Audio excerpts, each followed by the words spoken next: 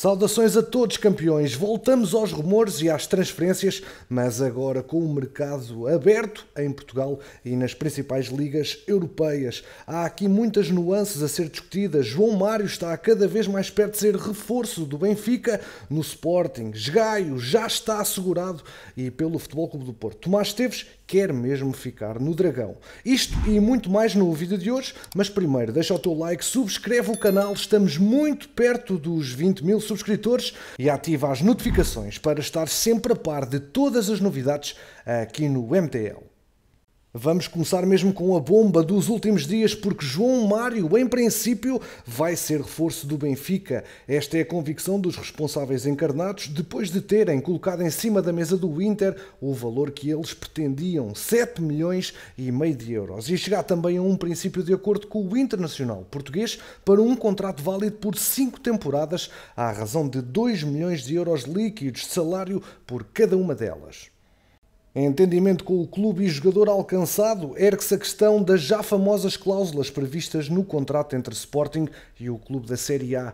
Num dos pontos é explicado que os Leões têm direito de preferência sobre o jogador caso chegue ao Inter qualquer proposta de um clube português. Ora, o Inter é obrigado a comunicar qualquer proposta que lhe chegue do nosso país e os Leões têm prazo para responder, igualando a oferta condicionada também ao acordo com o jogador. Noutro ponto é explicado que, falhando qualquer comunicação escrita dentro dos termos estipulados na cláusula anterior, o Inter será livre para transferir o jogador para um terceiro clube mas no caso da transferência ser efetivamente executada para um clube afiliado na Federação Portuguesa de Futebol, o Sporting terá direito a receber do Inter uma quantia condicionada de 30 milhões de euros.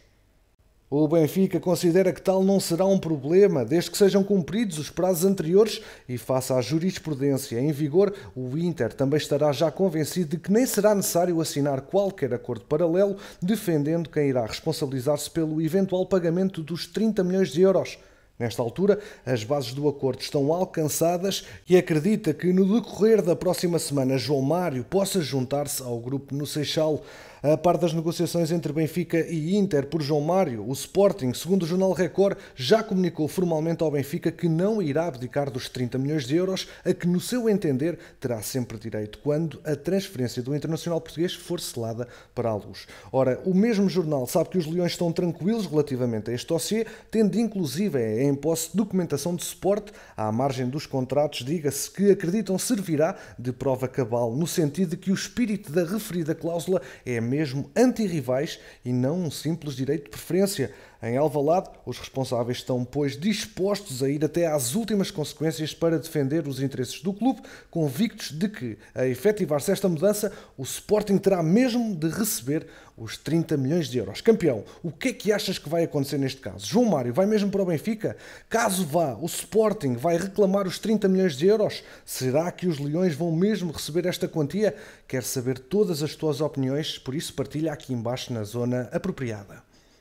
Paralelamente ao processo de João Mário, o Benfica também acredita que pode fechar a contratação de mais um médio, mas de cariz defensivo, Steven Nzonzi. O jogador ligado à Roma já sabe do interesse encarnado e tem na luz à espera uma proposta de salário líquido de 2 milhões de euros, um prémio de assinatura e um contrato de três épocas. Os encarnados procuram ainda a saída de médios como Gabriel, Chiquinho, Samaris e Jetson Fernandes. Fecho as notícias benfiquistas com a informação de que Kiano Lorenzo, extremo de 16 anos, deixou o Sparta de Roterdão e assinou por três temporadas pelo Benfica. Passa agora a bola para o Dragão, onde a recusa de Tomás Esteves em transferir-se para o Vitória de Guimarães não fez abortar as negociações para a mudança de André Almeida para o Futebol Clube do Porto. Quem explora esta informação é o jornal O Jogo, afirmando que as partes vão continuar a conversar para tentar chegar a um acordo Poderá levar mais do que um par de dias, mas existe mesmo a confiança generalizada de que este será obtido porque há muitas possibilidades em cima da mesa. Os vimaranenses já se prepararam para receber o júnior Francisco Ribeiro, que integrará a equipa de sub-23, e o interesse de Pepa em vários sedentários do plantel azul e branco ajudaria na concretização da transferência. A ideia base é mesmo que nenhuma das partes gaste dinheiro e possa satisfazer as respectivas necessidades. A haver uma verba envolvida será muito diminuta.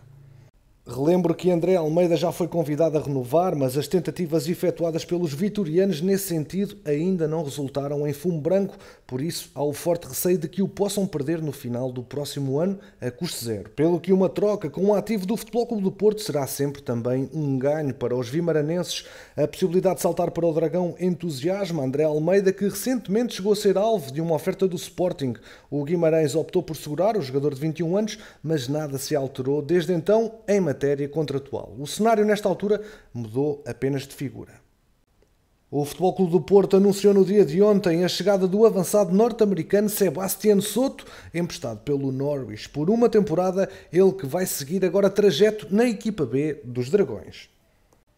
Quanto a Tomás Teves, vai mesmo ser integrado na pré-época do Futebol Clube do Porto, ele que, como afirmei, recusou ir para Guimarães no negócio eventual de André Almeida com o Futebol Clube do Porto e depois de uma época cedida ao Reading no Championship, pelo qual efetuou 30 jogos e apontou um gol, Sérgio Conceição quer tirar agora as medidas ao lateral formado no Olival. Rumamos agora ao Alvalade para fechar o capítulo de Ricardo Esgaio, porque o Braga informou que chegou a acordo com o Sporting para a cedência a título definitivo do jogador pelo valor de 5 milhões e meio de euros, referentes a 80% dos direitos económicos. Refira-se ainda que o mecanismo de solidariedade conexo com a transferência acresce ainda ao valor acima referido e é da responsabilidade do Sporting.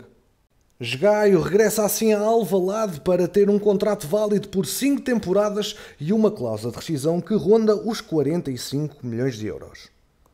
Quanto ao futuro de Luís Maximiano, pode mesmo passar pela Udinese. O guarda-redes de 22 anos do Sporting na última temporada foi suplente de António Adam, mas que há duas temporadas assumiu a titularidade na equipa leonina e agora os Leões pedem 7 milhões de euros pelo seu passe. O clube italiano vai perder Juan Musso, o guarda-redes de 27 anos para a Atalanta e quer mesmo investir no jovem português.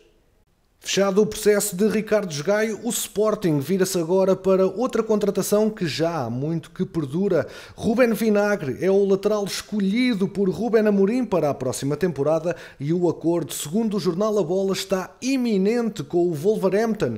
Aqui, se os Leões preferirem ficar apenas com o direito de opção para a compra definitiva do passo do jogador, o acordo deverá fechar-se com os Leões a ficar com a cláusula de opção, mas com cariz obrigatório, ou seja, no final da época vão mesmo ter de investir na compra dos direitos económicos e desportivos do futebolista português. O valor a investir vai sempre rondar os 8 milhões de euros. É, com certeza, um caso que queremos ver as atualizações nos próximos dias. Campeões, continuamos com mais informações do mercado de transferências nacional, porque Ruben Lima deixou a Bessade e assinou pelo Famalicão. O defesa esquerdo, que passou os últimos dois anos ao serviço da Bessade, assinou agora um contrato de três temporadas com os famalicenses. O clube de Matosinhos continua muito ativo no mercado de transferências e no dia de ontem anunciou mais um reforço e mais um regresso ao futebol português. Luizinho volta a Portugal oito anos depois para jogar pelo Leixões. Já Patrick Fernandes terminou a ligação com o Farense e reforçou o grupo desportivo de Chaves. Campeões, obrigado pela preferência aqui no MTL. Já sabes que aqui ficas sempre atualizado ao minuto sobre o mercado de transferências. Deixa o teu like, ajuda o projeto a crescer e quanto a nós, vemos no próximo episódio.